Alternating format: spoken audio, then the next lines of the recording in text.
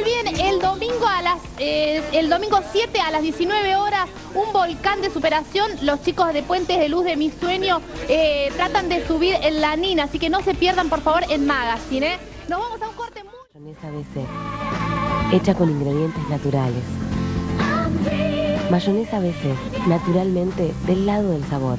Este domingo, un grupo de personas van a desafiar a la naturaleza venciendo sus propios límites. Imposible.